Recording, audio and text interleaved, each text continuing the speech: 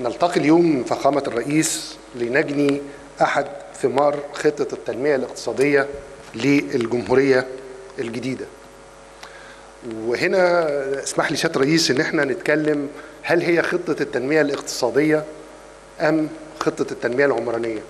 وده هيقودنا لمفهوم العمران.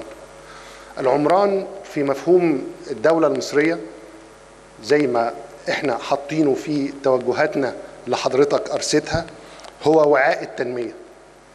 فمفيش تنمية بتتم دون هذا الوعاء. طيب لما كان العمران هو وعاء التنمية خلينا نسترجع وعاء التنمية في إقليم الدلتا اللي إحنا متشرفين إن إحنا واقفين على أرضه دلوقتي. إقليم الدلتا مكون من خمس محافظات دمياط الدقهلية الغربية كفر الشيخ المنوفية. حجم السكان اللي فيه عشرين وستة من عشرة مليون نسمة ومساحته واحد واثنين من عشرة فقط في المية من مساحة الجمهورية. لما نيجي نبص على مقارنة إقليم الدلتا بأقاليم مصر الأخرى هنلاقي إن هو تاني أكبر إقليم من حيث حجم السكان. في 21 مليون نسمة. بيجي بعد إقليم القاهرة الكبرى اللي هو فيه حوالي 25 مليون نسمة. إلا إنه عنده أقل فرص لاستيعاب العمران للسكان والأنشطة. الوعاء التنمية اللي إحنا بنتكلم عنه دلوقتي النهاردة لما نبص له هنلاقيه إن هو ممتلئ على آخره سواء بالأنشطة الاقتصادية الأساسية لأن ده الإقليم بيعتمد على النشاط الزراعي والصيد وهي الأنشطة الأساسية وهو في الأساس إقليم ريفي.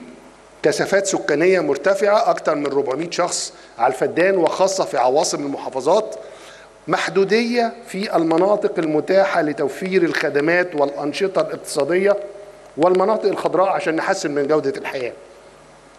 طب أمال إحنا هننمو إزاي في هذا الإقليم اقتصاديا؟ إحنا بنك... التنمية اللي إحنا بنقصدها هنا هو المواطن، إزاي أرفع من جودة حياة المواطن اقتصاديا في ظل التكدس السكاني وانعدام فرص الامتداد. طيب لما نبص كمان في الظاهرة الأخرى اللي في المحتوى العمراني اللي إحنا فيه في الدلتا هو عدم الاتزان في توزيع السكان بين الحضر والريف. نسبة الحضر على مستوى الجمهورية 45% على مستوى إقليم الدلتا 28% فقط نسبة الحضر.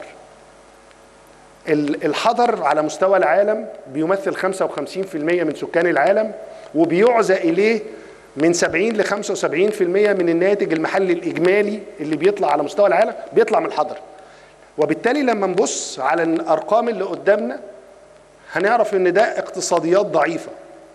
اقتصاديات ضعيفة بتنعكس على نوعية الفرص عمل قليلة بطالة حتى مستويات الخدمات والتعليم والفرص للنمو محدودة جدا جدا جدا. ده اللي بيدينا مؤشراتنا عشان التنمية.